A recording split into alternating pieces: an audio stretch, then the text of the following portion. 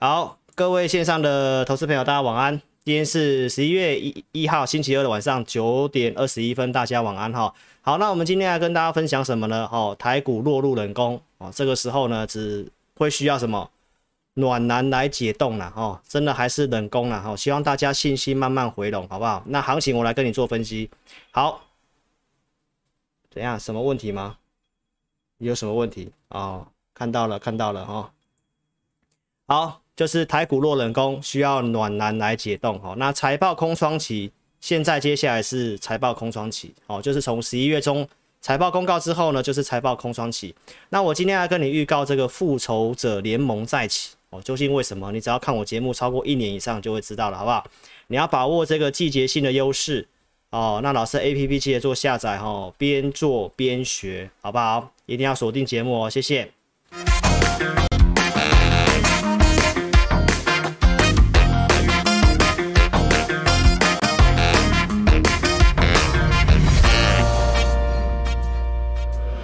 本公司所分析之个别有价证券，无不正当之财务利益关系。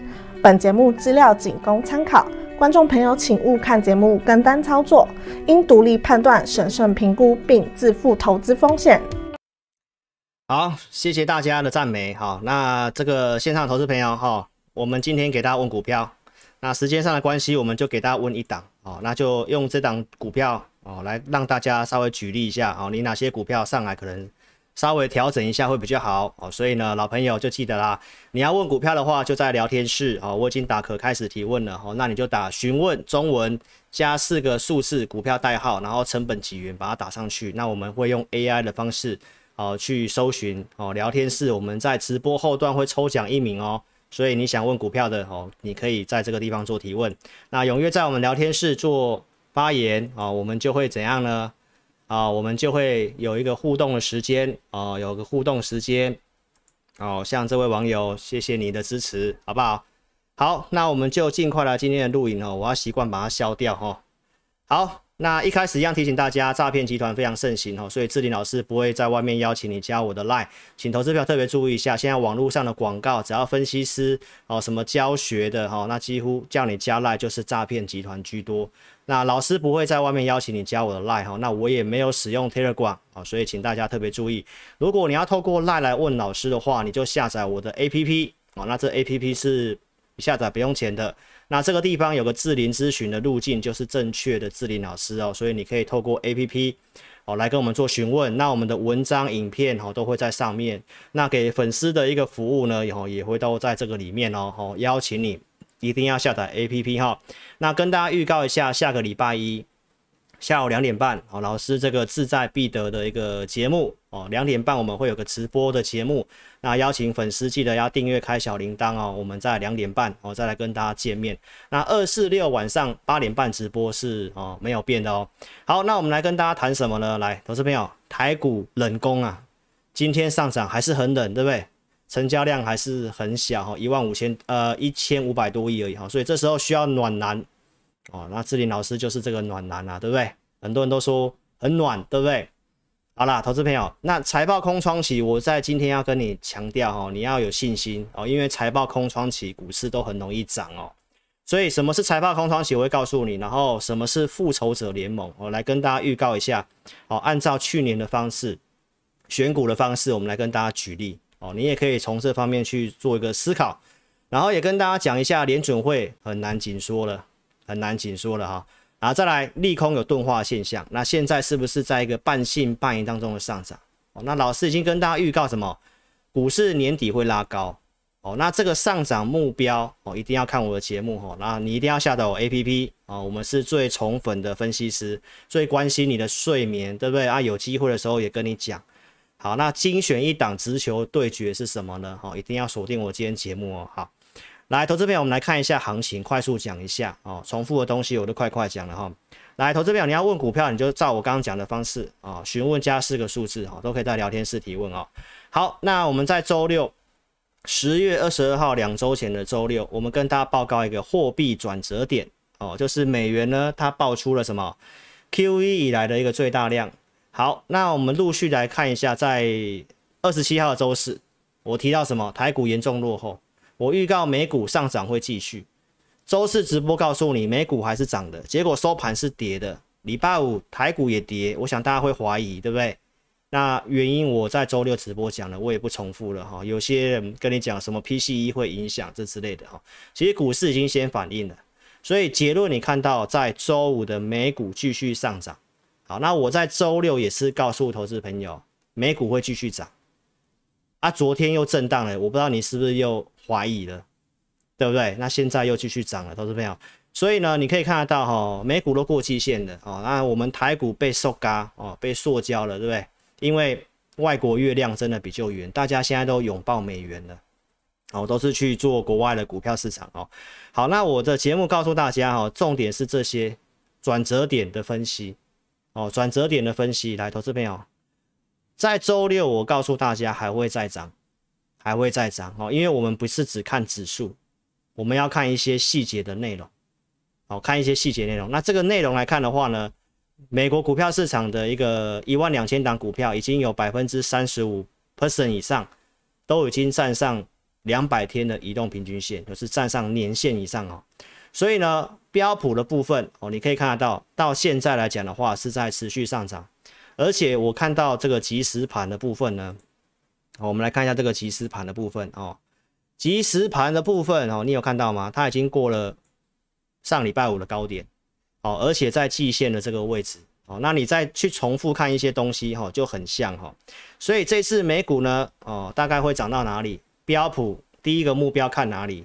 哦，那我认为是四字头，现在在三九二零点附近啊，我认为是四字头啊。这个数字是多少？哦，你下载我 A P P 哈，我会在 A P P 里面讲。好，所以呢。行情的重点，我不是只有讲技术分析啊，我是要告诉你，通膨、美元、联准会，这是现在全球最关心的这三个转折点的一个逻辑。那为什么在十月十三号会见低点？哦，所以观众朋友，这些的东西都是重复的东西，我只是要跟你强调什么？十月二十六号上个星期三啊，我已经跟大家讲这句话，叫做什么？复制六月到八月的模式会涨到年底。哦，会涨到年底。国际股市的逻辑没有变，我们台股不要妄自菲薄。那为什么会有这个？我在上礼拜三的 A P P 就发发送出去，我周四也在节目上跟大家分享关于联准会的利率路径。哦，其实股市它先反应，所以你想想看了，我说六月到八月，对不对？那你看一下六月到八月怎么涨？六月十六号见低点，然后往上涨，然后到季线，现在是不是到季线？啊，是不是续涨？啊，接下来几天有没有可能震荡？有可能，但是后面可能还是会有一段哦，还是会有一段哦，因为我已经告诉大家，复试六月到八月哦，为什么这样呢？因为有很多的巧合，很多的逻辑都是告诉我们十一月份它会非常的有利哦，所以今天的行情的部分表现上也是不错的。那这中间我们经历过多少的考验，对不对？你看到标普的部分在这个地方。十月二十号的时候，当时利空非常多，哦，那我怎么跟你追踪美元？我怎么告诉你利空的反应非常的钝化？它只有测个月线都收脚，当时有很多的利空，诶，你去看一下当时的节目，哦，所以一定要下载我 A P P 哦，我真的是最关心投资人的分析师哦，在这个礼拜五晚上了，对不对？那美股稍微在震荡的时候，我发了这个文章告诉大家。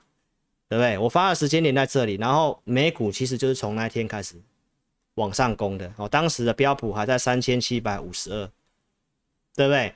所以经过什么利空呢？我当天发的内容就是这个，我说这个地方有非常多的利空测试，升息悲观的预期，债券值利率的飙升，中国要撤侨，说俄罗斯要丢核弹，然后景气衰退，对不对？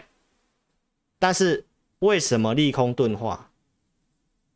利空测试美股这个地方月均线，它还是守住，然后翻红。美元的部分，我告诉大家，这是全球最关心的。美元只要下来，就会对股市有利，所以你可以去追踪一下。到今天我们可以看得到标普的部分，这里告诉你利空不断，但是呢很抗跌，钝化了，涨上去突破颈线续涨，来到下弯的季线，大家会担心。但是，投资朋友这一次稍微不太一样，因为有一个东西叫做季节性的优势。好，那美元的部分，你看到它现在在走这个下降轨道。我说从去年九月到现在，美元几乎没有一次出现什么没有过高破前低的形态，叫做 M 头的形态，短暂团弹个两三天，对不对？今天很给我面子哦，因为我要直播，美元就跌了，美元就跌回来。那为什么会跌？我是朋友，它现在就是进入一个调整。那会不会真的它就整个就是见高点了？我我暂时不敢保证。但是从联准会跟通膨的逻辑，它就是告诉我们，九月份这个地方是高点的几率非常的大。那如果是这样的话，这段时间的股市的修正，十月份的股灾，你如果知道我跟你讲的这个九月份的逻辑的话，我相信你有机会可以撑下去，对不对？不会砍在低档嘛，对不对？所以呢，标普接下来的目标看哪里？我认为是四字头。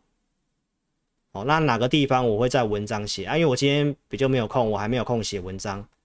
哦，那三千九百多，我认为会到四字头。哦，一个基本的技术分析有这个机会，所以我看法还是会续涨的。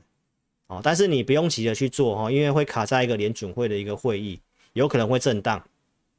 所以投资朋友一定要下载 A P P 哦，在影片下方哦搜寻。哦，点这个影片下方都有连接，你可以去点选，或者是在你的手机安卓或苹果搜寻陈志林分析师，下载我的 APP。哦，注册是不用钱的哈。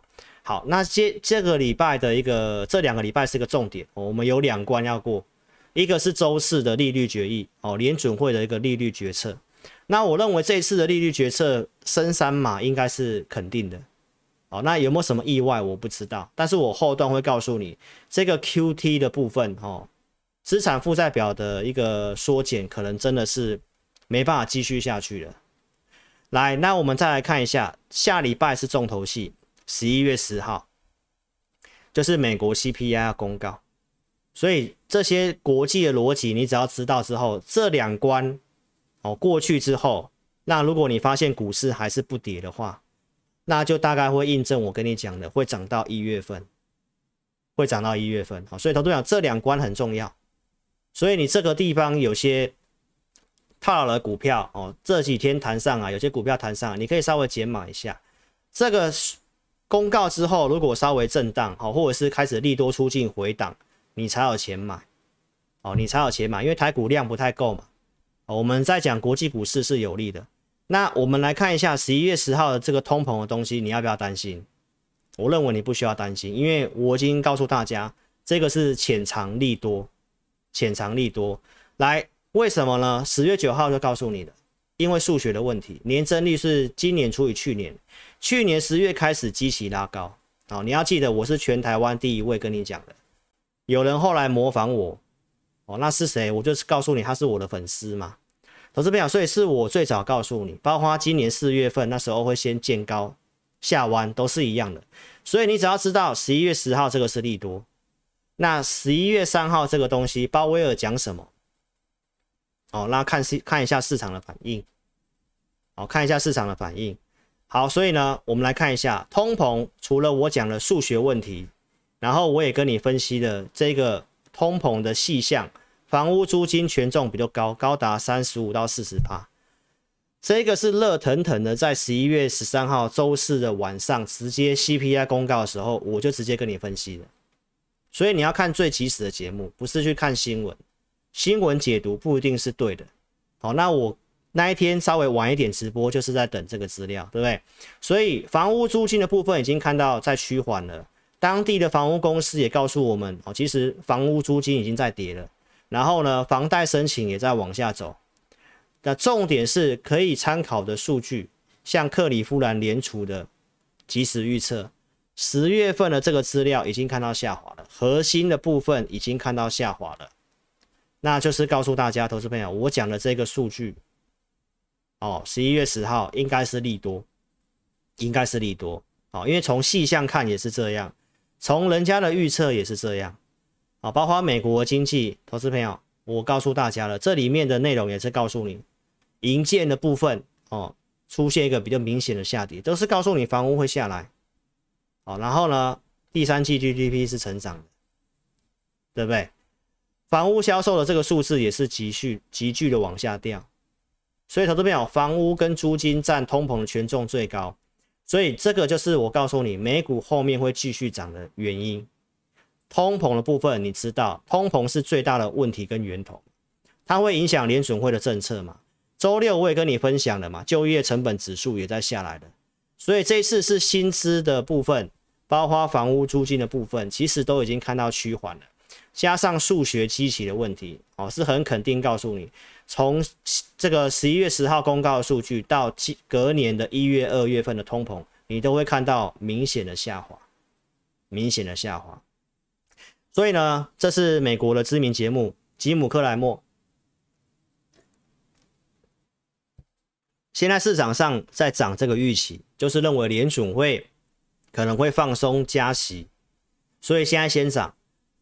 那我没有要投资表去追哦，我认为可能会震荡一下，因为先涨了嘛。公告之后可能会震荡一下，然后震荡之后再来找买点。那这个联美联储的一个内容跟说法，我们周四直播再来哦，跟跟大家分享一下哈。那我要告诉大家，第四季还有机会涨的原因是什么？就是 GDP 的预估，第四季也是成长的哦。这不是我自己乱写的哦，这个是美国亚特兰大联储的资料。他告诉你第四季还会成长，所以投资朋友，美国的经济数据看起来没有那么差，看起来没有那么差。所以我刚刚一直要跟你讲通膨的原因是什么？因为通膨是问题的源头，只要这个东西下来了，联准会的紧缩跟 QT 的部分是不是就接近尾声？那以现在美国的经济的状况，软着陆的几率还是很高的。虽然有些人告诉你不高，但是我们从资料看起来，它是有这个机会的哦，是有这个机会的。那至少我是不是告诉投资朋友，现在变数那么多，我没办法跟你讲到太远的东西。那我觉得现在的行情毕竟已经跌跌过一大段了，所以我们先一季一季看，至少现在到明年第一季，我觉得是一个哦还不错的一个操作的一个机会跟调整的机会啊。如果明年升息时间停比较长。那影响在明年会慢慢看到，所以至少这个地方不要杀低，我有帮助你上来，我们再来看怎么去调整跟减码去应对，然后要有一些策略。好，所以我的看法是没有变，那源头是这样，我已经看到有曙光了，对不对？所以呢，这会联动到升息的内容啊，所以二十二号的直播内容，我是不是告诉大家，十二月份升两码几率已经突破五成了？对不对？那接下来的行情的重点就是看它会停在哪个地方嘛？停在这个粉红色的地方，对股市是比较利多哦。就是这一次联准会的一个开会的内容，如果停在蓝色这个地方，哦，那当然就是比较属于鹰派的。但是现在市场已经预期这个了，所以就算是这一个可能震荡一下，因为股市已经反应了嘛。所以我们来看一下现在最新的，就是这礼拜的重要的事情，就是联准会。所以我们可以看到这个数字，其实跟我跟你讲的这个停留的地方是一模一样的。所以呢，如果会议之后哦，联准会利率的终点是停在红色的这个地方，哦，四点三七五到四点五这个地方，哦，这个地方的话，那就是大力多，股市可能就是会上去了。好，那如果是在这个的话呢，当然也是利多，但是强度可能没那么强。在蓝色的话呢，哦，就会稍微就是是符合市场的预期，但是可能就对经济比较不好。好，所以观众朋友，你就先知道一下，我们接下来看行情的重点就是联准会它到底会把终点停在哪个地方，然后要停多久，它对于通膨跟景气的看法，哦，那就是这一次联准会的一个呃会议的内容的看点。那我们在周四再来跟大家解读，好不好？所以呢，我认为联准会这次会保持。跟九月份版本是一样，什么意思呢？二零二三年本来的终点就是在四点六这个地方，所以我认为会停在这个紫色线的这个地方，不是市场上预期的这么悲观的地方。哦，所以观众朋友，那我的看法是这样。那我们再陆续来看一下联准会最后出来是怎么样哦。但是因为现在市场预期在这里嘛，所以我认为就算是在这个地方，大概就是震荡一下。大概的震荡一下，好，那股市哦，我刚刚跟你讲的利率嘛，我也跟你讲了通膨，对不对？那我们再来看一下，为什么我会看好，这个利率的事情对于股市来讲的话，反应已经过去了。因为在九月二十四号，我已经告诉你什么时候会落地，你参考跟六月份一样的东西。两年期的美债值利率如果来到联准会规划的利率的路径的话，那股市可能就会先反应。所以我当时是不是跟你预告，当两年期公债如果来到四点三七五到四点六之间，股市会见低点。九月份我就告诉你，投资朋友，那到十月二十号，我们是不是已经看到两年期公债来到了四点六？但是很特别的是什么？这个时候，殖利率在涨，但是标普它已经回月均线，没错吧？所以我才会发 A P P 告诉你嘛。十月二十一号礼拜五，我是在发 A P P 告诉你，公债殖利率在上去，但是它已经到了联准会的版本。不管是十年期公债还是两年期公债都到了，对不对？所以这个地方你看一下，是不是到了之后低点早就出现了？然后呢，公债值利率在涨的时候呢，美股已经开始测一下月线就开始上去了，现在已经突破季线了。所以这种危急的时刻，你就需要。暖男来帮你，对不对？我们就持续性的跟你讲这些我看的东西是什么，然后我一路的跟你追踪，都有符合，都有符合。所以这个地方行情不好，我就是告诉大家都有符合我的条件，所以我请大家忍住，不要去看那些恐吓你的节目，对吧？所以投资朋友，光这一段虽然台股真的补涨的力道不是很强，但是一定会慢慢跟上的。哦，所以这个地方你一定要坚持住，好不好？那标普有季节性的优势，所以你现在看到它已经突破季线了。你刚刚已经看到它突破上星期五高点了。美元你也看到它稍微偏弱下来了。这个地方如果再下去的话，那大概就蛮肯定的。你看到为什么美元会先这样转弱？为什么在九月份见高点？投资朋友，这都是金融市场的逻辑。这告诉你，通膨九月见高点，美元就是反映这个预期。美元现在下来。它就是跟你反映，因为公债值利率到了，联准会升息的东西，金融市场早就反映了，所以聪明钱早就开始把美元呢，哦，开始慢慢去做一些获利调节的动作，所以这个地方才去追美元的话，投资朋友，我觉得风险大于利润，哦，我不是说它不会再涨了，而是跟大家讲，这里我认为空间真的不多了。好，那美股的部分你也可以看到。今年八月六号，我就告诉大家，如果后面真的又再来破六月份低点的话，我是不是直接写这个告诉你，跌破六月六六月份的低点，我说也会反转。我从国外的资料告诉你，为什么？因为现在是因为通膨嘛，而且也比较像是一九七三年嘛，对不对？那一九七三年国外的这个吉姆克莱默节目，他帮你比对，诶，跟一九七三年的走法有点像。会弹一波，对不对？是不是六月到八月有弹一波？然后是不是下来？下来之后，投资朋友，那是不是又站回去？然后我告诉你，这里会是相对低档。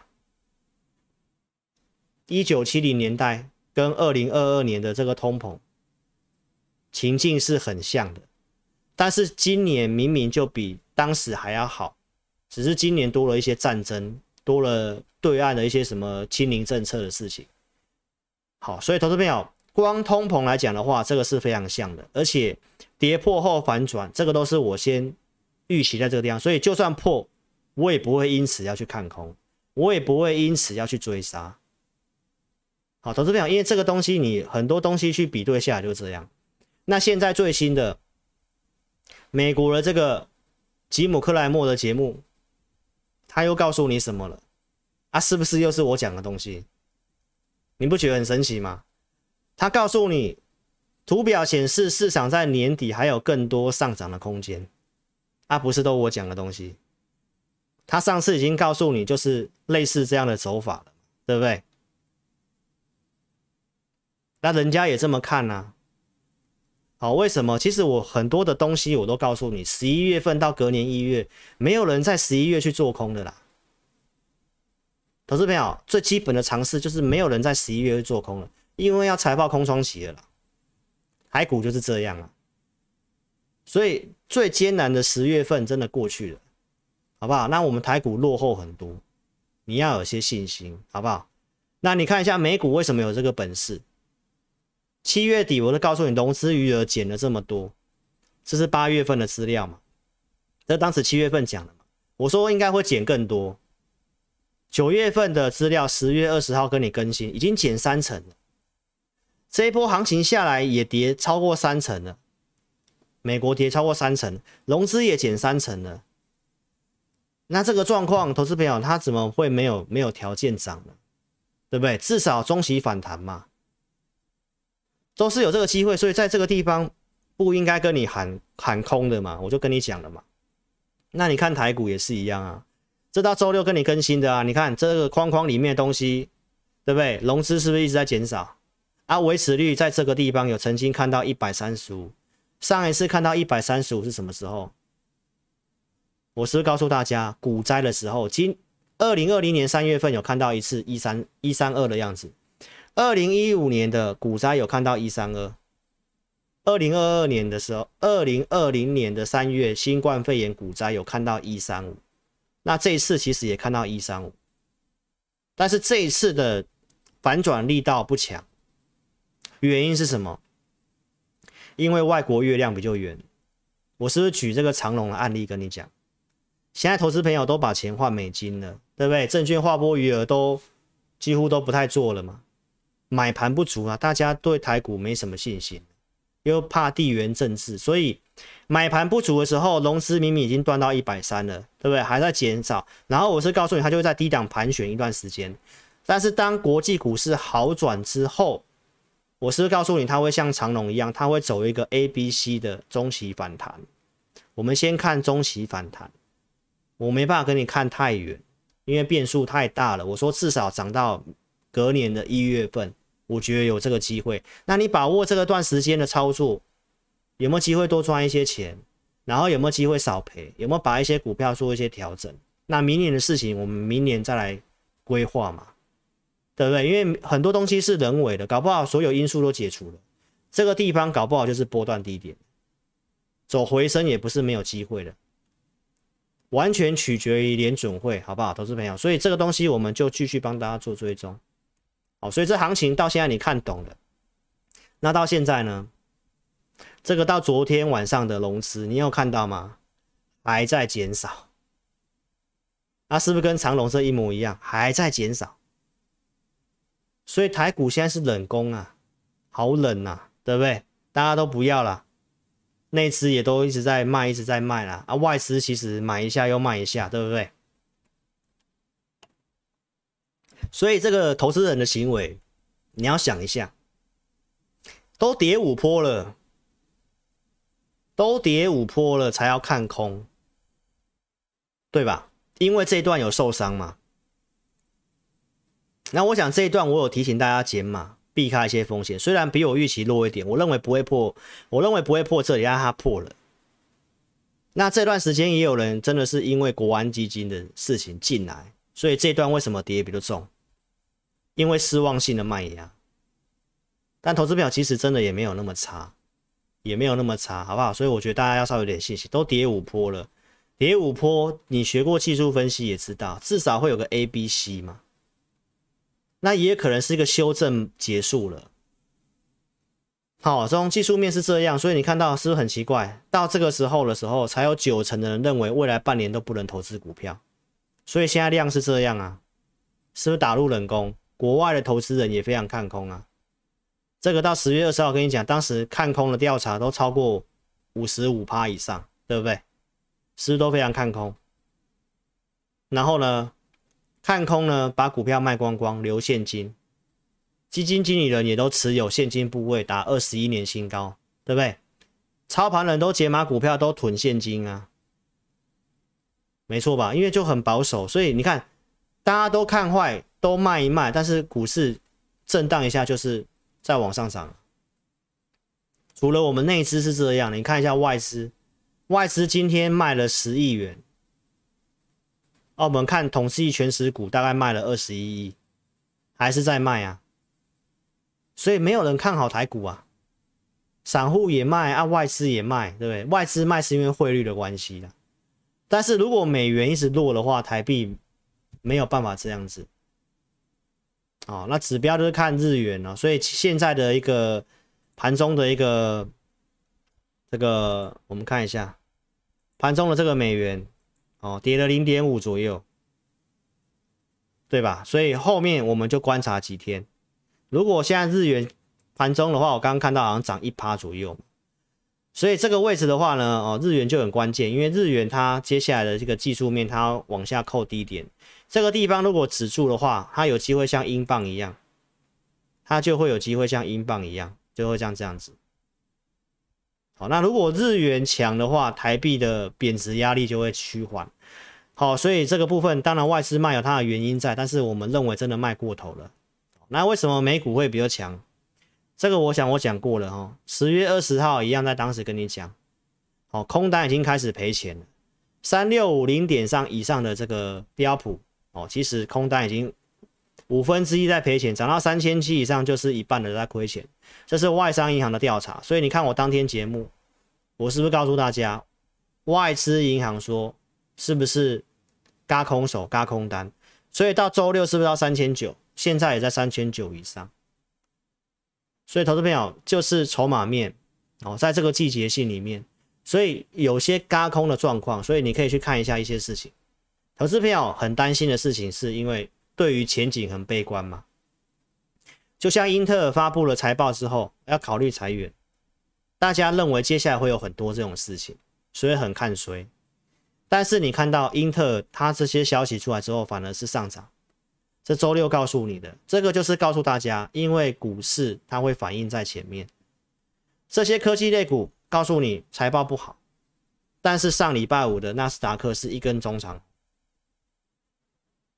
这就是我跟你强调的利空钝化的现象，为什么呢？投资朋友，因为股市都是反映在前面的逻辑，股价会先走，会先见到低点，开始可能不管是反弹也好，或反转也好，后面开始看到数字不好，但是股价可能震一下又往上，震一下又往上，代表最坏的状况，股市已经提前反应完了，包括经济景气也是一样。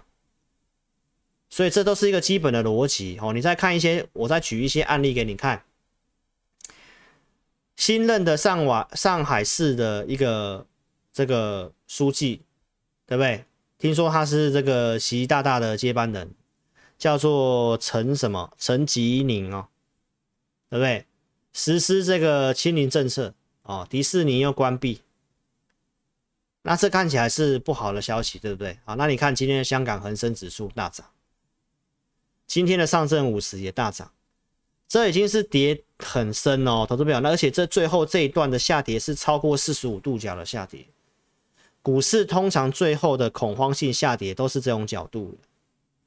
那这种角度的时候，如果出现坏消息，但是股价是反应是不太跌的话，投资朋友这种都是很容易接近低点的一个讯号，很容易接近低点的讯号。所以你看到。香港跟中国大陆的股市也是有这种现象。那我们看一下台湾，台积电这两天是不是又利空很多？说什么产能暴降，对不对？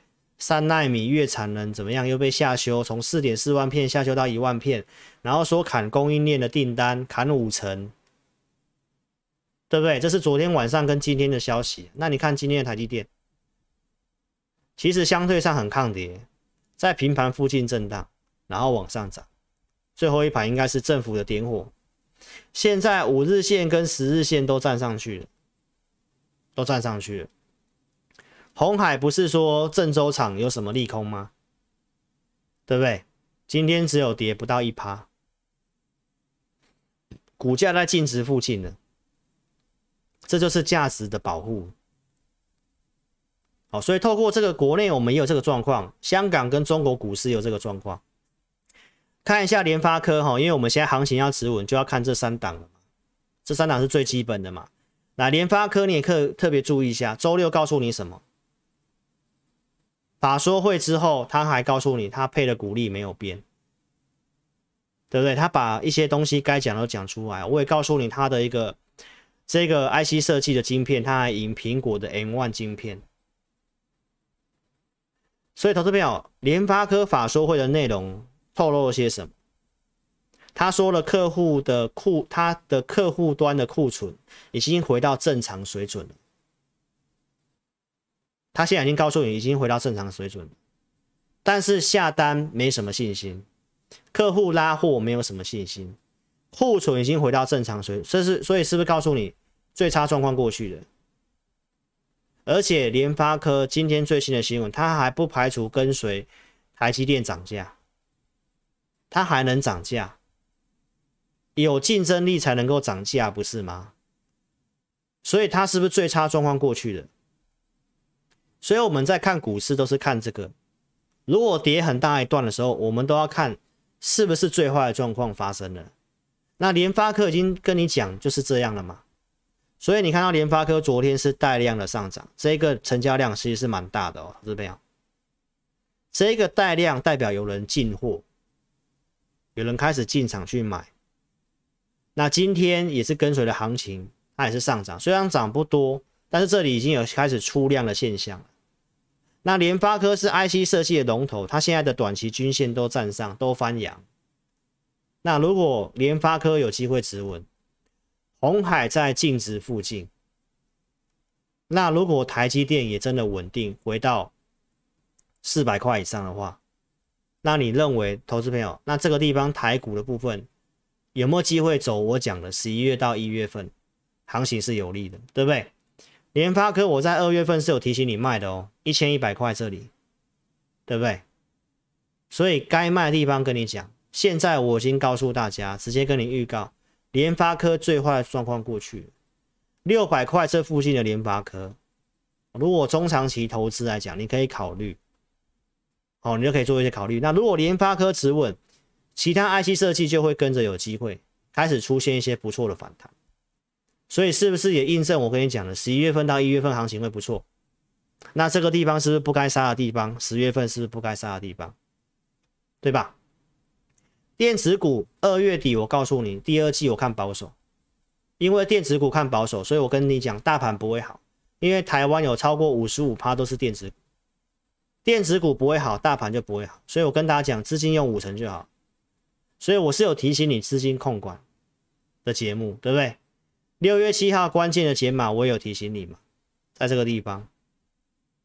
所以投资朋友一定要订阅我频道，包括八月十三号美股见到转折点，我告诉你情绪过热。我跟你讲的时候，在这一天的假日，对不对？礼拜一、礼拜二都还有继续创新高，你都有时间卖。台股八月十三号在这里。所以是不是建议大家这里要去做减码？你拉回才有钱买。当时告诉你情绪偏乐观嘛？八月十三号，好，然后呢，有粉丝在问，说老师，你说这个美股会继续涨啊？不用看这个贪贪婪恐惧贪婪指数了吗？老师，你之前都说这个恐惧贪婪指数啊，对不对？现在来到这个贪婪的地方会担心嘛？对不对？这很正常。好，投资朋友，股票市场不是只有看一个东西哦，就决定说啊，它怎么样，它怎么样。贪婪会担心我，我了解，所以我是跟大家讲，我没有要你追啊，对吧？现在会强势是因为有轧空的因素，而且你还要多看一些东西。我周六告诉你的，我们要看的是股票的内容，股票的内容，那有没有机会继续强下去？站上去三十，站上去年线的股票超过三十趴以上，哦，这个行情就是称作为止稳。如果突破五十，就会更强。八月中那次很可惜没有突破五十。二零二一年那时候，二零二零年的那个行情的反转上去，就是有先突破五十，后面就再走一段。所以，投资朋友，这个地方我们当然会去继续观察它，但是我在。周六跟你讲分享一个东西嘛，你看大盘有破六月份的低点，但是统计美股的股票，对不对？站上去年线的股票，在九月份的这一波的拉回，它没有破六月十六号的前低，这就是一个背离的讯号。所以这次的涨势，如果我刚刚那些分析的一个不管通膨、联储会哦这些东西。哦，如果是肯定的，加上如果在周四的这周明天晚上联储会所讲的东西，如果是正面的话，那我认为这种没破低再往上冲会比较强，啊，会比较强。那搭配季节性的因素，所以投资者这个地方无论如何都不是去看坏的，会贪贪婪你会担心是正常的，但是震荡你找机会就好了。我没有要大家追股票啊，我只是跟大家讲，我认为到一月份会继续涨。好，那你看美股的低点，十月十三号当天大跌破低点的时候，我告诉大家利空出尽，因为我关心的美元，我关心的东西都都是有符合我的条件，对不对？那这一波转折点，你看十月十五号周六，我告诉大家，美股又跌回来，这种 K 线都是足底跟触底的讯号，对吧？是不是这里八八呃十月十三号跟你讲的会见低点，利空出尽啊？是不是真的出现人家讲的大奇迹？隔天跌回来，你会担心？我告诉大家，这种 K 线是足底跟触底的讯号，所以就从这个地方，对不对？见低点一路往上。然后到现在已经过高，然后又有突破季线了，对不对？所以你可以去看一下，就包括美元的东西，也是告诉你喷出了，九月底喷出会结束。九月二十四号的内容，大家现在新闻媒体还是在告诉你，因为要升息，所以美元会继续涨。哦，其实你已经在九月份看到高点了，不是吗？对不对？因为都是在过去，都是升息之前就会先见高点了嘛，对不对？技术面的满足点也到了嘛，然后呢又爆出无限 QE，这里是二零二零年股灾的时候，新冠股灾的时候无限 QE 的地方，哎，这个量都已经比当时无限 QE 还要大了，投资朋友，那你学过技术面，你都知道啊，高档爆大量就是结束了嘛，所以投资朋友从这些各各个迹象拼图，我帮你拼凑起来。就是告诉大家，美元会再下去，美元下去就代表印证我讲的通膨，联准会的利率路径那些都是验证。哦，而且已经反映到四点六了，投资朋友。那你可以看一下，我是什么时候叫你换美元的？二零二一年九月四号哦，我有拿证据给你看。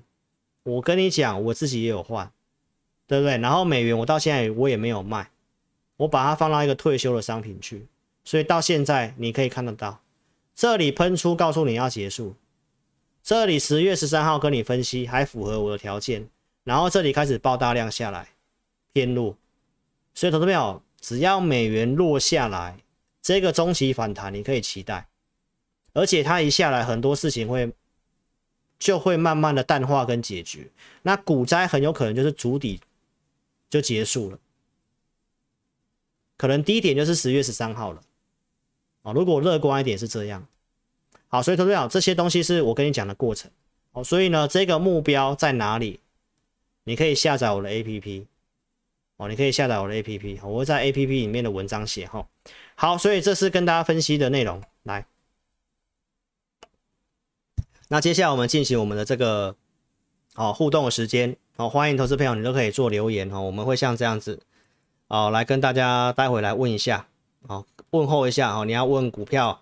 哦，问什么问题啊？不要问股票，问股票我们开放一档了哈。那你要问什么问题？我们待会来跟大家哈这个互动哦，就像这样的方式互动。那让老师工商一下哈，你就趁我在工商的时间下载我的 APP，然后呢，新朋友记得帮我订阅我的频道，按赞跟分享，好不好？谢谢大家喽。那我们来这个让老师工商一下，来新朋友记得订阅老师频道，手机打字这里叉叉点掉之后，来帮我订阅频道，开小铃铛。然后自家人帮我按赞跟分享影片，哦，按赞跟分享影片。来，九月十四号，你是老师的 APP 的用户哦。一般的文章晚上十点快十一点了，我告诉大家哦，美股的六月份低点会来挑战，所以我请会员解码。我也提醒大家不要追股票，隔天不要追股票，哦，因为当时美股是反弹的，所以隔天提醒你不要追股票，而且我告诉大家要减码。所以如果你追高的话，你可能会追在一万四千七百点。那九月十五号隔天，我是不是带会员卖股票？所以我都是先跟你讲，关键时刻提醒你，该解码的时候提醒你解码。那真的跌下来，你就比较不会担心嘛，对不对？以利店当时的卖出证据，东阳的一个获利出清的证据，哦，当时节目都有讲，啊，所以一定要下载 APP。如果你隔天没有追的话，你看礼拜五就重挫了，是帮你避开风险。礼拜一继续重挫，所以在影片下方都有连接，欢迎你去下载，或在你的手机哦下载 APP 的地方去搜寻陈志林分析师。哦，下载是不用钱的。下载之后呢，投资朋友你就把你的手机的行动电话号码打进去，按一下发送验证码，会发简讯给你，有四个验证码哦，你就把四个数字打进去，然后呢，把你的姓姓名打上去，然后你自己设定你要设定的密码。哦，比如说你的生日哦，那你就按个注册就完成了，重新登录哦，就是登录你的手机跟你的密码。就可以做使用了哈，那这个是没有花你钱的，那记得要开启通知哦，我们。影音跟文章通知你就会收到，记得常使用 A P P 啊，不常用文章都没有去点的，那很有可能会被停权哦，停权就会像这样。那怎么解决呢？右下角有联络我们，你点 Line 哦，你点这个 Line，那告诉我们说你被停权了，那我们会帮你做恢复。这是电脑 A I 自动停权的啊，所以如果你不常用的话，会有这个问题。好，提醒你要常常使用。好，免费的用户呢，每一个礼拜老师假日会发一个文章给你，哦，假日会提供给你这个信用筹码有疑虑的名单。那什么是信用筹码？我的互动教学有教，你可以来体验，哦，你可以来了解什么是信用筹码。所以有问题的股票筹码没有问题，我提醒你避开风险。每天盘前我会帮大家整理国内外的新闻，在这个地方。哦，所以你有我的 A P P，大概你也不用买报纸，重点我都帮你整理好，那你就浏览一下，你想看，点进去哦就可以看这个新闻，哦，这是免费的服务哦，哦，所以这三个是免费的，那赖的部分这边哦，你也可以点一下，把你的用户编号传过来，哦，那我们做个登记一下，OK，所以呢，这左边这三个是不用钱的。右边这两个五报导航跟互动教学是我们的养成方案，那这方面我们有开放给用户哦，免费体验，你可以来体验，你可以来了解一下志林老师哦。盘中我给你一些方向跟数据，那大概也是我带会员的方式。然后我们会有一些新的新手的互动教学哦，也在这个地方。那体验期到了，如果你觉得老师不错，你资金也够，你可以参加我的会员。那如果你是小资主，你也可以选择买我们的养成方案哦，来支持我。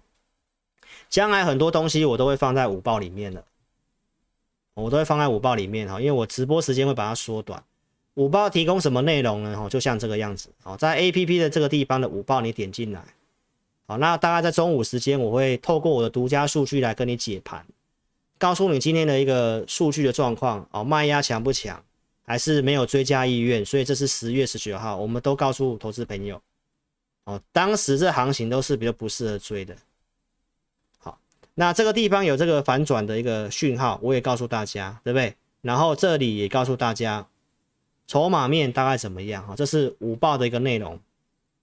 好，那五报用户一个礼拜呢，我们会给一个信用筹码加技术面，老师会帮大家精选几档股票。精选几档股票哈，就是在假日的时间点，好，因为以前我们是给这个信用筹码这种，啊，大概有四五十档股票，结果我们的用户说，老师你可不可以帮我们精简一下？哦，那好吧，那我也是希望我的用户赚钱嘛，好，那我就从这份名单里面去帮大家精选几档，对不对？那当时是选了四档来，像新胜利，新胜利到现在也是强势股，也是强势股。好，那一个月会有一场的互动教学影音哦，大家想要了解这个信用筹码，那这是八月底的影音啊，因为已经下架了，那我已经重新上架了，所以你来填表体验的话，你也可以听到这一集什么是信用筹码。好，所以如果说你想体验我们养成方案的哈，就是五报导航跟互动教学的，在下载 APP 之后的中间这个位置有一个紫色按钮，你点进去，然后点这个我要申请，那会有个表单，你写清楚。送出资料，我们服务人员跟你联络之后呢，好，那确认你有申请，那会帮你做开通的动作哈，所以邀请你，我可以来做一个免费的体验。好，那上个月我们有一个专属的课程啊，那这是付费的，这是我们的一个付费的养成用户专属的课程啊，因为这里面有一些 know how，所以这个我就不是把它放在这个互动教学影音里面。这一次会教信用筹码的这个选股的逻辑，然后教导养成用户在手机里面如何去设定一个指标，因为它会有价位，那你参考这个指标跟价位去做操作。那我有教买点，我也教五个卖点，所以投资朋友，那这一个这一个操作策略就是比较适合这一个技术从网面，我们帮大家精选的一个操作的模式。所以这一次的课程我大概录了五十几分钟吧，这边你可以看得到嘛，好，所以我是非常有诚意的，我不会说随随便便就录一下。好，那我也跟大家预告一下，这个月会有新的课程，我还在安排，那就是再来跟。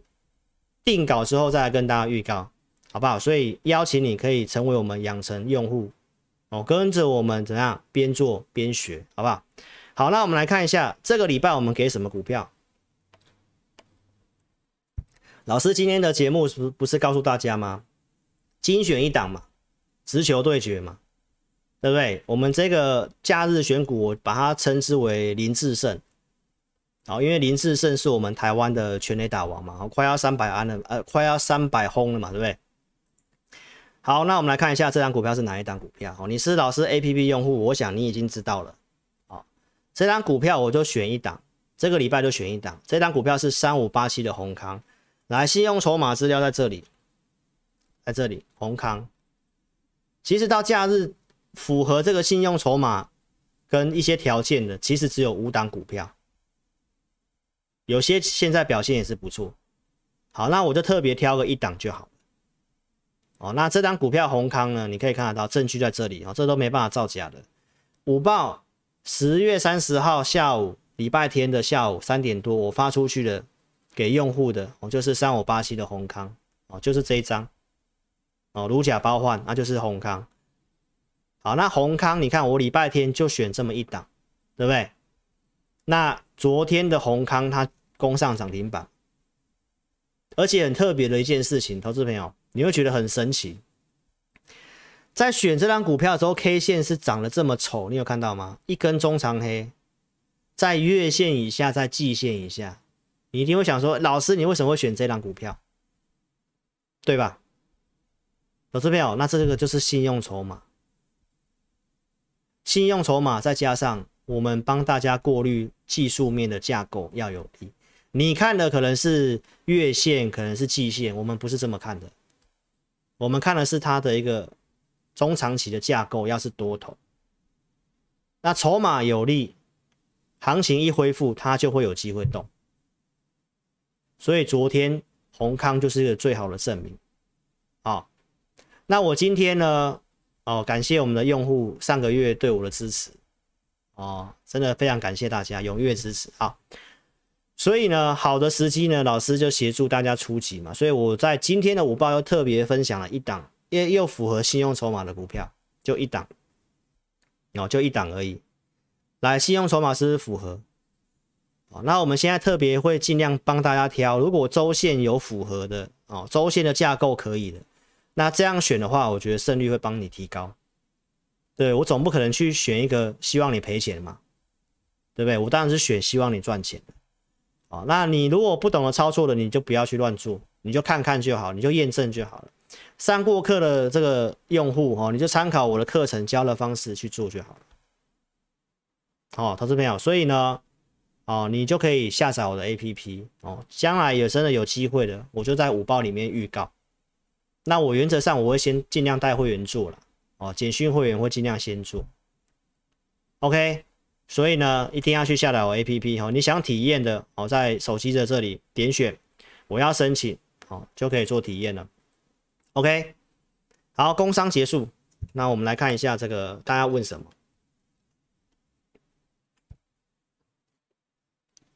好，我们来看一下。曾建辉问钢铁有没有机会涨？钢铁的话呢，我们要，我觉得行情有机会就一定会有机会动，它不可能没有机会的，因为第四季这个电子股杂音还是比较多。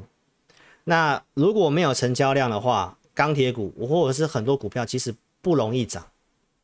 但是钢铁股是跟着大盘一样哈，在七月份其实它是比大盘强，那在七月份就已经先落地了，然后再走一个主底。没什么成交量的话，可能要稍微忍耐一下，哦，要稍微忍耐一下，哈，这是我钢铁股看法，所以我们还是要看第四季，哦，台股没有量很弱，对不对？我说砰砰砰，你真的太悲观了，对不对？自身有机会吗？你可以来填表，哦，你可以来填表，哦。好，掐明问的，通过这个基建案是不是造成高通膨的原因之一？哦，其实我认为不一定是这个，一定会有关系，但是呢。呃，它的这个通膨的关系是因为过去投资不足所造成的，就像现在的油价的部分，他们国内的油商都不愿意多做增产了是投资不足的问题啊。来，这位 Rich 问，为什么美国升息，美元强势，有些国家为了币值主贬要抛售美债，那抛售这个动作不太懂，能不能简单比喻说明一下？好，因为你要你要去主贬的话，你是不是要在市场上卖美元？那卖美元的话，每个国家的外汇储备它不见得有那么多美元。就像你讲的，应该是在讲日本吧？日本是美国国债最大的持有者那上个月据说他已经有砸了大概几百亿。好，去主贬日元嘛？那他如果要主贬的话，他如果手上的美元不够的话，他就必须要卖国债，就卖美国国债，卖美国国债他才会有美元呐。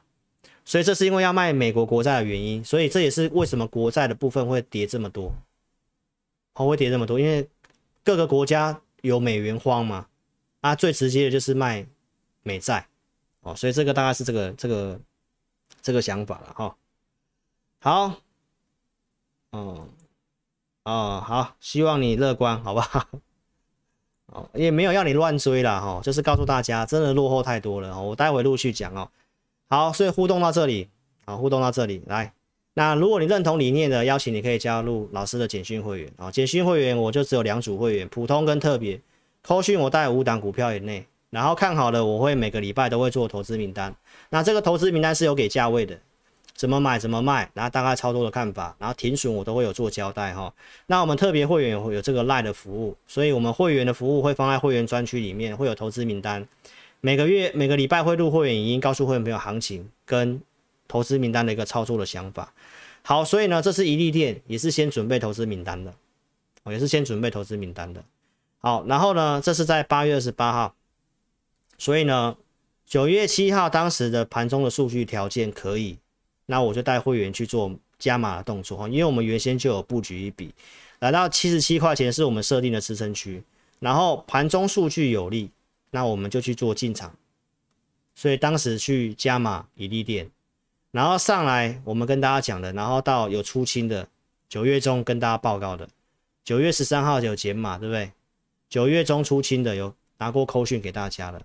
车用的胡联哦，也是先准备投资名单的。这八月份，八月二十号节目就有公开了，买进的时间点是在九月八号，所以我们是先准备投资名单，不一定买，因为我有五档股票，五档股票可能有些是套牢的，有些要处理，所以有些有资金空档的时候，我才会去买新的。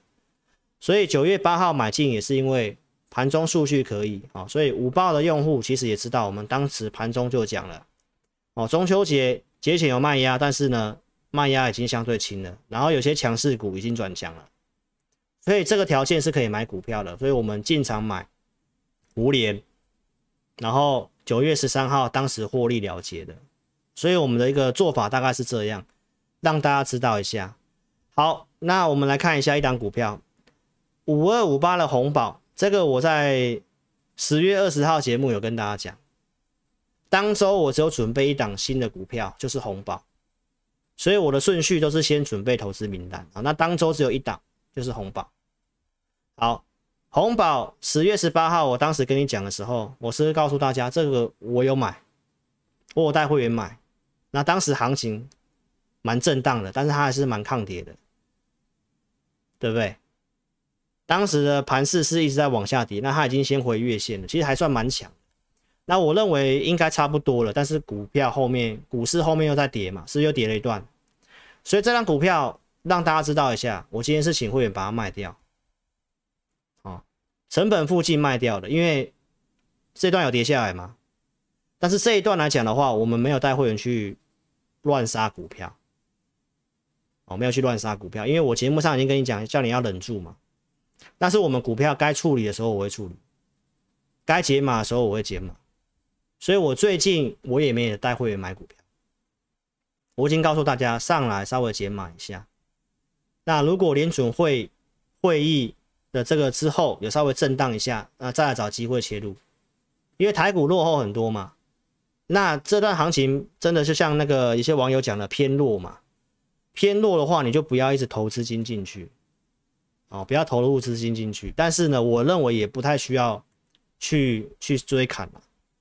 啊，这个成交量一千五百多亿，也暂时也不用太太太积极的要买。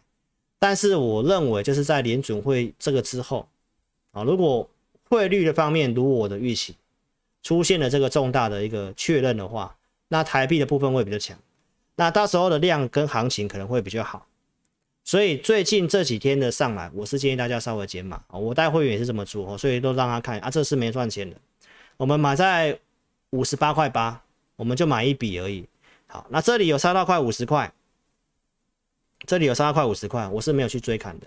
好，上来到成本，我建议会员。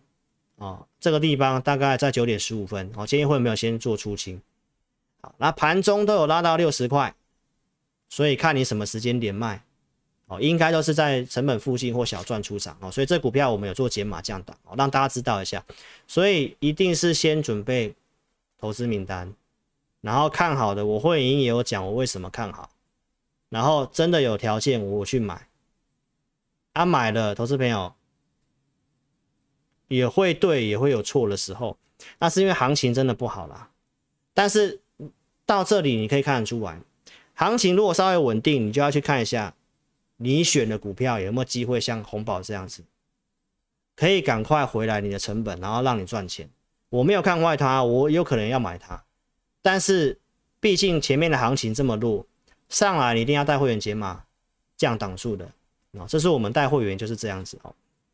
因为十一月二号鲍威尔讲什么，我们不知道。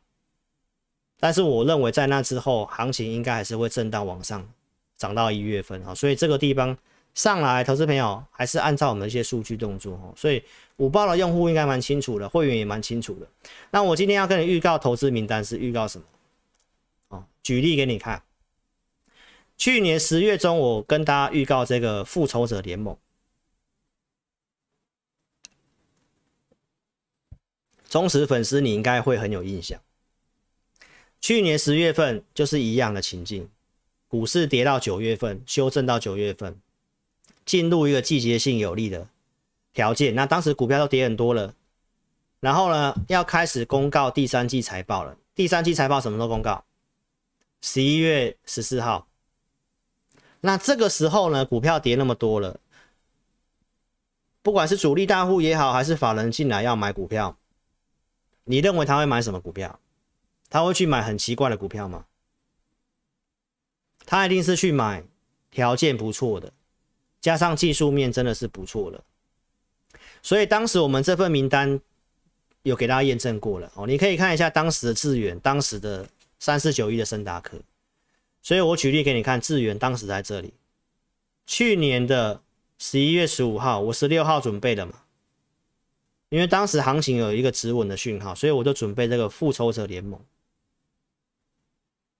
好，所以投资朋友，那这些股票你都可以去看一下过去的哈。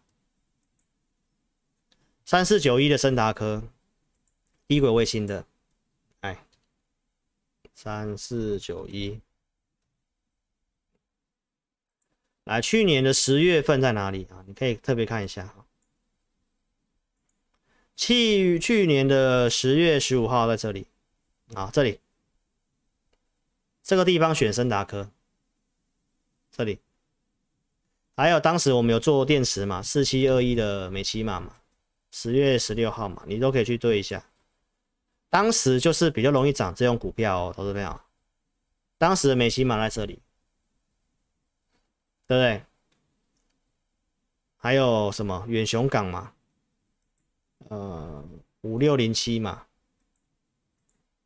五六零七，去年的十月份这里，十月十五号给会员的这里，这是远雄港，当时的远雄港。好，所以投资朋友你要知道哦，就是十一月份到隔年一月有没有？就是我讲的复仇者联盟，比较会涨这个股票，因为这个时候是财报空窗期，是做梦行情。那这个时候法人会先卡位什么股票啊？就是会卡位我跟你讲的复仇者联盟的逻辑。好，所以观众朋友，我今天我已经发讯息告诉我会员了，我们如果有些股票减码的。那到时候联准会的东西确定之后，那我们就是要买这个复仇者联盟的概念，啊，复仇者联盟的概念。所以除了这个筹码面跟这个数字面，我们都会去过滤跟挑选啊。所以最近财报已经陆续要出来了，所以我们就会去准备这个投资名单。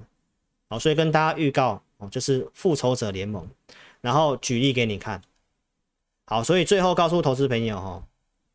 我节目告诉你季节性的优势哈，不是只有我这样讲而已。哦，国内的法人台新投顾啊、统一投顾的董事长都告诉你，十一月以后到隔年一月都是台股年底做上跟元月效应有机会展开反弹。其实不是只有国内的，国外也是这样子，对不对？你我再拿去年的节目给你看，去年的画面，二零二一年十月二十八号，好，你可以看得到外资再怎么卖。在十月过后到隔年一月都是净买超，这是法人。好，你再来看一下这个地方也是一样，这是二零一九年，好，这是二零二零年的股灾，对不对？然后到二零二零年的年底也是一样，十月过后，十一月到隔年一月，十月十一月到隔年一月就是这样子。我说第四季回补潮，好，那你看到现在外资是不是还没有回补？然后量才会是这样，因为连法人都。怕怕的，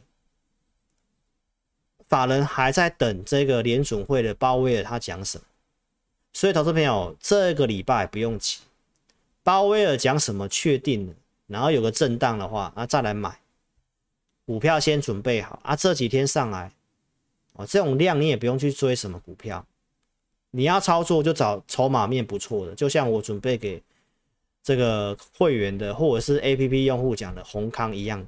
你要能够选到那种强势股，你才容易赚钱啊！真的波段的机会就是我讲的哦。第四季为什么会从十一月到隔年一月有利？这都是过去股市的惯性，就是这样啊。我去年也讲过一样的东西哦，所以观众朋友，这都是在股市待久的人都会知道，没有人在十一月会去放空的啦。讲实在话，因为十一月开始就是。财报空窗期啦，啊，这时候弱弱的，你可能没什么感觉，对不对？那重点是法人在等什么？法人就是在等鲍威尔会议结束啦。那现在是要做功课的时候。那如果一旦确定了，他们就会买我讲的这种复仇者联盟的逻辑的股票，然后就会开始出报告了，投信就开始出报告，告诉你什么股票。什么产业哦？明年什么样啊？怎么样？怎样？公司派会跟你讲，我明年要成长怎样？你有没有听过人家讲的做梦行情？就是从十一月份到隔年一月份，股市最好赚的时候就是十一月到隔年一月份。所以，投资朋友，你要记得我今天跟你讲的东西啊！我去年也就跟你讲过一样的话。那去年的复仇者联盟你都看到了，虽然我不是每档都做，但是可以的，我就准备给我的会员。好，所以邀请你。这个地方要有信心哦，还有什么机会呢？历史经验来，其中选举年美股第四季表现都不错哦，这是我周六告诉你的，对不对？还有第四季 GDP 美国会成长，对不对？华尔街这种分析师告诉你，美股跌到十月份而已，为什么？过去一百四十年的统计，平均跌两百八十九天，就是在十月十九号哦，熊市会结束。啊，低点是不是出现在十月十三号？也很巧合，也很接近了，时间、空间都到了，缺的就是信心而已，好不好？十月四号，我们跟你讲，华尔街这种分析告诉你，标普六三千六百点以下，已经是稍微便宜的，所以我有跟大家讲，我有客户去买这个 SPY 嘛，买在三百六嘛，因为三百六你对应的就是三千六百点嘛。对不对？所以小资族没有太多资金，三百六十块美金换算台币大概多少钱？大概一万块嘛，对不对？一万块嘛，你十万块，你买个十股，你买个十股好了，你买个十股，然后到最近的这个价三百八了吧，对不对？赚个十股多少？二十元十股多少？两百块美金嘛？赚个六七千块嘛，也不错啊，投资朋友。指数的部分是这样哎，对不对？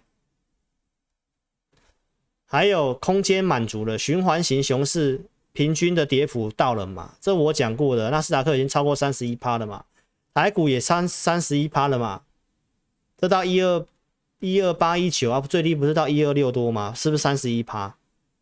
是不是符合这个啊？时间也到，空间也到。然后再看一下，我们有比南韩还要差吗？哇，董远泰，你怎么说我去年如此年轻？我现在不年轻了，是不是？我现在有这个哦，有这个岁位岁岁月的痕迹了吗？好了，你看一看一下啦，哈，这台积电呐，这是南韩的三星呐，跌了，今年还跌的比三星多了哦。那我已经分析过他们的差别了，良率。产能也赢，客户也赢，库存的调整，对不对？三台积电的库存又又比三星好，专利又赢三星，对吧？啊，这个大盘加权跟韩国股市也是一样，韩国股市今年跌二十五趴，这是到十月中哦，我们已经跌超过三十一趴了，投资朋友，跌的比南韩重哎。我们现在贸易是顺差呢，我们外债比韩国还低耶，我们外汇存底也比韩国还高哎，结果我们跌的比人家多，就不太对嘛，投资朋友，太悲观了，大家都把钱换美元了，你可以看一下啦，这个东西哦，投资中国的规模，韩国是是比我们台湾投资还要更多哎，他们是重重伤害呢。那这种状况，你想它跌的还比我们轻，对不对？SK 海力士、三星这些，他都告诉你，它影响都比台积电还要惨呢 GDP，你看我们第三季成长下修啊，还是成长四点一趴哎。你看南韩 GDP 第三季只有涨成长零点三呢，结果我们跌的比人家多啊，啊，人家谈的这一波还比我们强啊，对不对？这是在周六跟你比较的啊！你看它十月的高点都过了，台湾台股十月高点在哪里？一万三千九，哎，今天才刚好站上万三，还差九百点。那你要不要再多看一下韩国现在在哪里的？啊，这是美国股票市场。来，我讲的贸易顺差跟逆差，你自己比较一下。韩国连续七个月贸易逆差，我不是乱讲了吧？我们台湾还是顺差，哎。逆差跟顺差什么意思？就是我们出口赚的钱扣掉进口，我们是赚的，叫做顺差。啊，出口小于进口，对不对？收支啊，你赚的比花的多，那你就是逆差啊。啊，韩国就是赚的比花的多啊。啊，你看韩国现在哪里？韩国在这里，快到季线了呢，快到季线了呢。那你再看一下我们台股在哪里？所以，投资朋友不敢买股票，你也不要乱杀了，好不好？你看一下，人家韩国都在季线的啦，季线在哪里？一万四千一呀！阿菜在这里还离月线都还没上去，你看，然后量缩，大大家都怕怕的。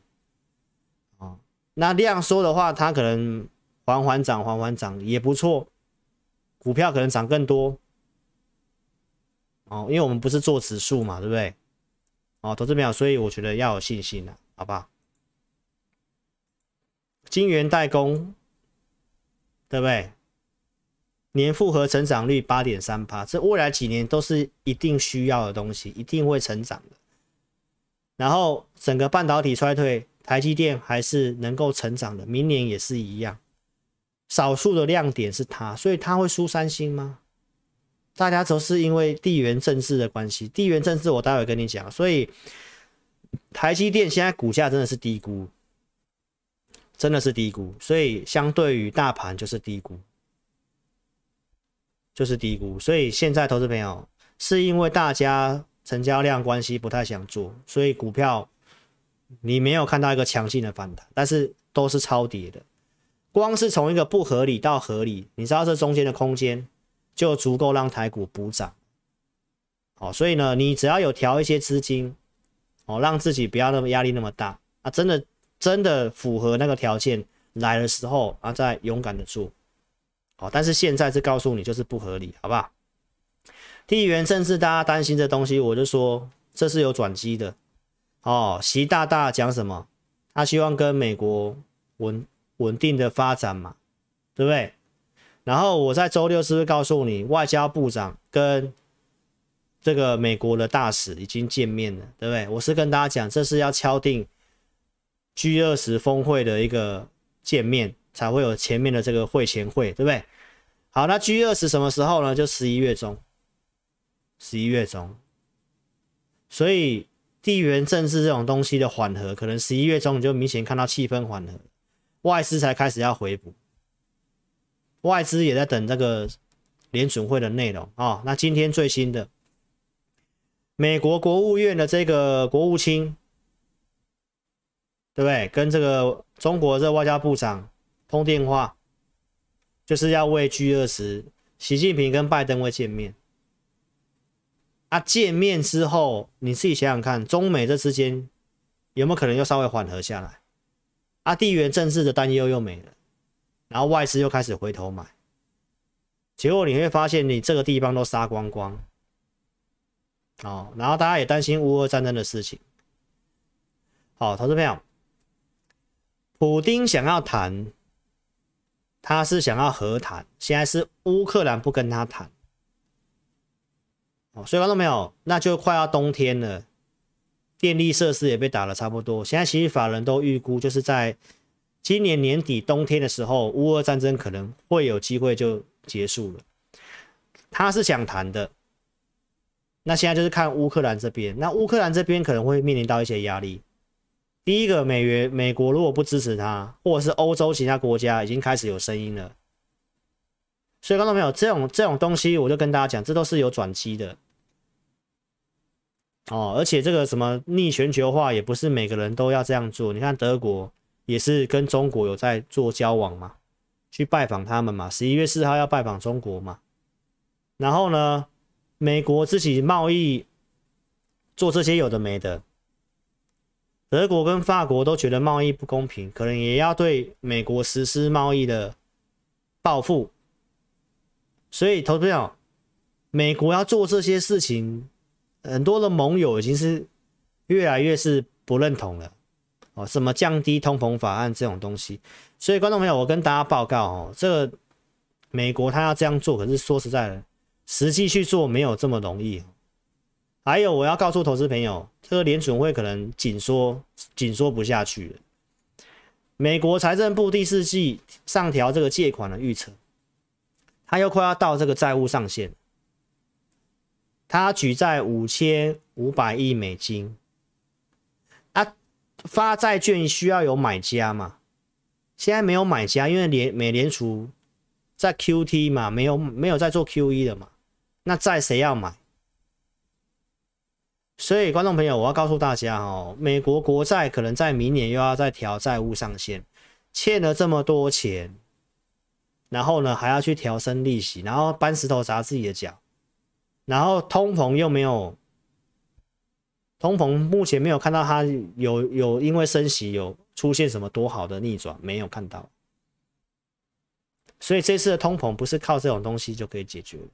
那这个状况就会让你知道升息呀、Q T 这种东西执行不太下去，已经有外资报告在写，说明年可能一月份，好 Q T 就会提前停止，好像是瑞银写的吧。所以我们的逻辑就是告诉大家，其实联准会做这些行为很奇怪。哦，我是要告诉大家，看起来是没办法再硬下去的。哦，所以投资朋友，你要看领先的节目。十月二十号，我都跟你讲地缘政治的这个哦，可能美国要在台湾生产武器，对不对？军工股的八零三三的雷虎，当时第一天我就跟你讲，在这一天我就马上跟你讲，那为什么我可以马上跟你讲？因为我觉得这是可以做的题材。然后到现在，投资朋友都已经涨到这个地方了，然后人家才在报纸报纸跟你选股，所以报纸选股是我的粉丝啊，都看我的节目，然后选强势股。啊，你在看报纸去追高高，都差多少了，对不对？所以投资朋友就要看最领先的、最领先的节目，然后呢，要支持合格合法的分析师。现在有些网红已经被抓了。哦，被金管会启动调查了哈。你看到投资诈骗上半年就有三百多件，那有一千一百多件被移送。哦，投资朋友不要以身试法。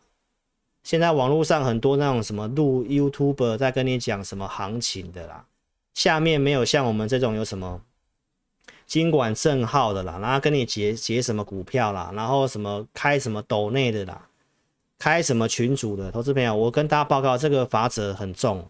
他可以判五年以上，并科一百万元、五千万元以下罚金。包括频道你抖内他，他跟他跟你讲什么上什么课，开什么群主要收钱，你抖内他，他帮你解股票干嘛的？那都是投顾的行为啊！投资朋友一定要支持合法的哦。网络上这个没有经管证号的哦，你听听就好了。哦，你听啊，只要他这边有写到一个重点，只要投资是加赖都是诈骗，百分之百是诈骗。所以为什么我会去开发 APP？好，投资朋友，我都告诉大家，现在加赖的部分哦，很多都是诈骗的。好，所以下载 APP 好，所以想跟上我们复仇者联盟操作的，欢迎你可以在影片下方点标题填表。好，送出资料，我们尽快协助你服务你。啊，记得要去下载我的 APP 哦，影片下方都有连接啊。想要询问入会的，你也可以来电询问二六五三八二九九二六五三八二九九。好，非常感谢你的收看，我们今天直播进到这里，谢谢大家。那待会音乐结束，我们再来抽奖，然后看是哦帮谁解股票，好不好？谢谢各位，那我们周四直播见，谢谢，晚安，拜拜。